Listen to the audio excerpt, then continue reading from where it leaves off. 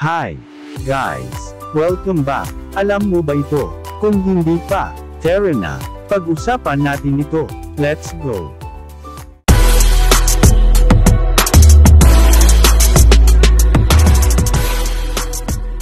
Ngayon pag-usapan natin ang sakit na bosyo o goiter. Ano nga ba ang bosyo o goiter? Ang bosyo o goiter ay ang pagkakaroon ng bukol sa bandang ibaba ng leeg, malapit sa Adam's apple. Ito ay isang uri ng sakit sa thyroid gland na nakaaapekto sa maraming Filipino. Sa katunayan, ayon sa Philippine Thyroid Association, mas maraming Pinoy ang nagkakabosyo kaysa sa sakit na diabetes. Nagkakaroon ng bosyo sapagkat hindi sapat ang iodine na nakukuha ng katawan mula sa mga pagkain, kaya naman ang thyroid gland ay namamaga at nagiging bukod. Ang thyroid gland ay nasa bandang leeg at ito ay may kinalaman sa metabolismo, pagkakaroon ng anak, at paglaki ng isang tao. Ang kadalasang naaapektuhan ng bosyo ay mga kababaihan, lalo na ang mga buntis, pati na rin ang mga batang nasa pag-aita ng mga edad na 6 at 12.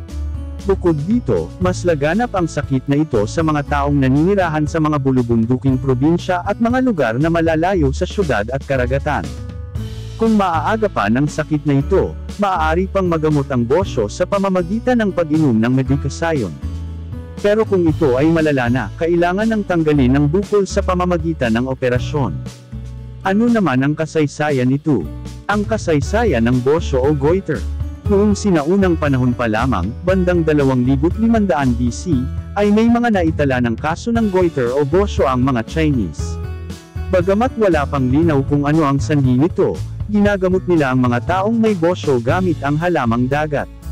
Gaya ng mga Chinese, ang mga Indiano naman ay may sarili ring kontribusyon sa kasaysayan ng bosyo. Ang tawag nila sa bosyo ay galaganda. Ginagamot naman nila ang galaganda sa pamamagitan ng pag-inom ng gatas, at pagkain ng kanin, barley, at pipino. Sinundan ito ng maraming pag-aaral ng mga doktor at mananaliksik.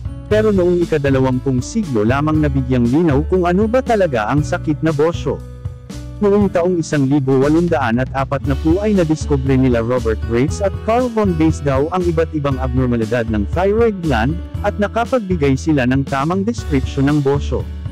Isa pang mahalagang kaganapan sa kasaysayan ng bosyo ay ang kontribusyon ni Emil Theodore Coker noong taong 1900 at siyam.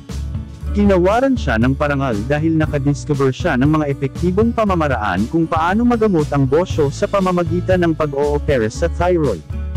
Mga uri ng bosyo o goiter. May 3 uri ng bosyo o goiter ito ang sumusunod. Isa, colloid goiter o endemic. Ang colloid goiter ay isang malaking bukol sa leeg, malapit sa Adam's apple. Nagkakaroon ito sapagkat kulang ang iodine sa katawan. Tinatawag din itong endemic goiter sapagkat ito ang pinakalaganap na uri ng bosyo sa anumang lugar. Dalawa, non-toxic goiter o sporadic. Ang non-toxic goiter ay isang maliit na bukol sa leeg. Ang sanhi nito ay hindi pa lubos na malinaw. Pero ayon sa ibang mananaliksik, posibleng lithium, isang uri ng psychiatric drug, ang isa sa mga sanhi nito. Ang bosyo na ito ay non-toxic sapagkat hindi nito naaapektuhan ang normal na produksyon ng thyroid hormone. Tinatawag din itong sporadic sapagkat iilan-ilan lamang ang naaapektuhan nito.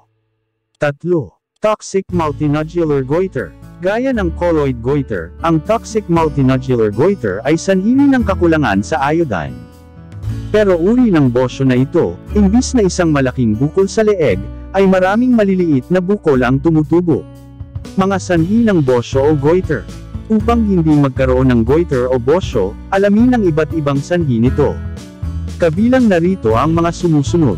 Kakulangan sa iodine. Ang kakulangan sa iodine ay ang numero unong sanhi ng bosyo. Ang iodine ay importanteng mineral sa katawan at ito ay kadalasang nakukuha sa mga pagkaing dagat, halamang dagat, gatas ng baka, at iodized salt. Pero alalahanin na ang labis na pagkonsumo nito ay magre-resulta rin sa bosyo. Pagkakaroon ng ibang sakit sa thyroid gland. Ang pagkakaroon ng ibang sakit sa thyroid gland gaya ng hypothyroidism, hyperthyroidism, o thyroiditis ay posible ring magdulot ng bosyo.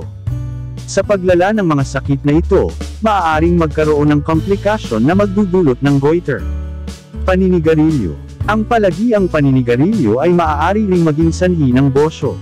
Kapag napuno ng nikotina ang katawan, mas mahihirapan itong mag-absorb ng iodine ng maayos. Pagbabagong hormonal. Naaapektuhan ang normal na gawain ng thyroid gland kapag may pagbabagong hormonal. Kadalasang nag-iiba ang produksyon ng hormones kapag ang isang tao ay nasa stage ng pagdadalaga o pagbibinata, nagbubuntis, o nasa menopausal age na. Lithium. Ang lithium ay isang uri ng psychiatric drug na ginagamit upang pakalmayan ang mga taong may bipolar disorder at suicidal tendency. Pero pinaniniwalaan ng ibang doktor at mananaliksik na ang lithium ay nakaaapekto sa normal na gawain ng thyroid gland, kaya naman nagkakabosyo. Pagsasailalim sa radiation therapy. Kung sumasailalim sa regular na radiation therapy na malapit sa leeg, maaaring magkaroon ng bosyo. Posibleng mamaga ang thyroid gland dahil sa madalas na pagkakalantad nito sa radiation. Mga sintomas ng bosyo o goiter. Ang pinakakilalang sintomas ng bosyo ay ang pagkakaroon ng malaking bukol sa leeg. Pero hindi lamang dahil may bukol ka dito ay bosyo na agad ito. Upang malaman kung bosyo talaga ito, alamin ang iba't iba nitong sintomas. Isa, bukol sa leeg. Kung maliit pa ang bukol, maaaring hindi pa ito makita. Kailangang kapain ng leeg upang mas alat kung may bukol o pamamaga. Paninikit ng lalamunan ang isa pang sintomas ng bosyo ang paninikit ng lalamunan. Dahil namamaga o lumalaki ang thyroid gland, natutulak ang ibang parte ng leeg at nagsisiksikan. Dalawa, nahihirapan sa paglunok. Bukod sa paninikit ng lalamunan, posibleng samahan din ito ng hirap sa paglunok. Hindi malunok agad ng taong may bosyo ang kanyang pagkain sapagkat nagdudulot ang bukol ng pananakit.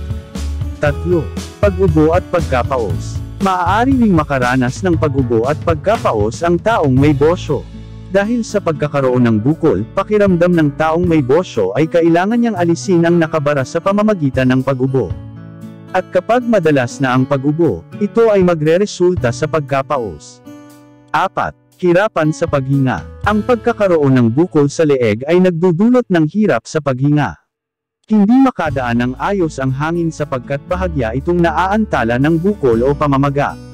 Mga salik sa panganib ng bosyo goiter. Ang mga salik sa panganib ng goiter o bosyo ay ang mga sumusunod. Isa, edad. Ang sinumang may edad sa pag-aita ng 6 at 12, at 4 na pupataas ay malaki ang posibilidad na magkabosyo. Ito ay dahil sa ang mga batang paslit ay hindi mahilig magsipagkain, samantalang ang mga nasa edad apat na pupataas naman ay kadalasang naaapektuhan ng iba't ibang sakit. Dahil dito, hindi maabsorb ng katawan ang iodine. Dalawa, mga babae. Ang kadalasang nagkakaroon ng bosyo ay ang mga kababaihan. Sila kasi ang nakararanas ng maraming pagbabagong hormonal dulot ng pagbubuntis at menopause. Tatlo, medical history ng pamilya. Kung ang ilan sa miyembro ng iyong pamilya ay may medical history ng pagkakaroon ng sakit sa thyroid gland, posibleng ikaw ay magkaroon din ng bosyo. 4. Paninirahan sa bulubunduking lugar. Kadalasan, ang mga taong naninirahan sa bulubunduking lugar ay walang sapat na supply ng mga pagkaing mayayaman sa iodine. Pero kung naninirahan sa mga lupaing malapit sa karagatan, ang mga itinatanim na halaman ay posibleng mayaman sa iodine. 5. Medicasayon. Posible ring tumaas ang posibilidad na magkabosyo kung umiinom ng medicasayon gaya ng amiodarone at lithium. Ang amiodarone ay isang uri ng heart drug, samantalang ang lithium ay isang uri ng psychiatric drug. 6. Radiation exposure. Maaaring mamaga ang thyroid gland kung ang isinasagawang radiation therapy ay malapit sa leeg. Ang madalas na exposure ng leeg sa radiation ay posibleng maapektuhan ang mga healthy cell. Mga pag-iwas sa bosyo o goiter. Madali lang maiwasan ang sakit na bosyo. Kumain lamang ng mga pampalasa at pagkaing mayaman sa iodine gaya ng mga sumusunod. Iodized salt. Ang iodized salt ay isang klase ng asin na dinagdagan ng iodine. Bagamat ang ibang mga bansa ay gumagamit na ng iodized salt noong 1920s pa lamang, naging laganap lang sa Pilipinas ang iodized salt noong 1995 matapos maisabatas ang Salt Iodization Act. Seaweed o halamang dagat. Ang seaweed o halamang dagat ay mayaman sa iodine at antioxidants na nakatutulong upang makaiwas sa thyroid cancer. Ang pinakapopular na uri ng halamang dagat ay ang kombu kelp, wakame, at nori. Pagkaing dagat. Maraming pagkaing dagat ang mayaman sa iodine gaya ng isdang bakalaw, tuna, at hipon. Kumpara sa ibang isda, ang bakalaw at tuna ay mas nakabubuti sa kalusugan sapagkat kaunti lamang ang taba ng mga ito pero umaapaw sa iodine content. Ang hipon naman ay mas mayaman sa iodine kumpara sa ibang shellfoods sapagkat mas naabsorb nito ang natural na iodine ng dagat. Gatas at mga produktong gawa sa gatas. Ang gatas ng baka ay mayaman sa iodine. Bukod dito, ang mga produktong gawa sa gatas gaya ng keso at yogurt ay nakatutulong din sa pag-iwas sa bosyo. Itlog. Ang itlog ay mas kilala sa protina nito, pero mataas din ang iodine content nito. Ang iodine ng mga itlog ay matatagpuan sa pulang parte nito. Muling paalala, bagamat iminumungkahi na kumain ng pagkaing mayaman sa iodine, dapat ito ay sapat lamang. Dahil kapag sobra ang iodine sa katawan, pwede kung nagustuhan mo ang content na ito. Maaari kang magbigay ng opinion o mag-request sa ibaba. Para sa next video natin, ay yun ang tatalakayin natin. Maraming salamat. See you next videos.